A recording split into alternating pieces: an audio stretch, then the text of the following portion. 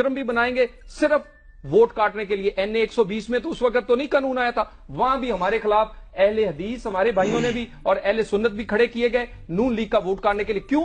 हमारी अक्सरियत को अकलियत में बदलना है और कोई मामला नहीं है इधर। ये सिर्फ़ अब तो आपकी अपनी पार्टी के अंदर बगावत होगी ना जैसा कि डॉक्टर साहब कह हैं। मीर साहब ताला आप फ़िक्र ना करें ये सारी चीज़ें जो हैं मैनेज भी होंगी।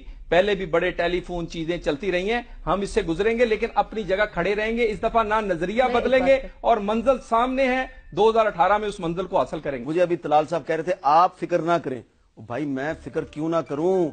पाकिस्तान की मुंतखब पार्लियामेंट के दोनों हाउसेज कौमी असम्बली और सेनेट नॉन फंक्शनल हो गए हैं। मुझे तो बहुत बड़ी फ़िक्र है और मैं चाहता हूँ कि ये हाउसेज फंक्शनल हो जाएँ ताकि पाकिस्तान में जो जमहूरियत के दुश्मन है वो जमहूरियत पसंदों को ये ताना ना दें कि ये देखो तुम्हारी जमहूरियत यह है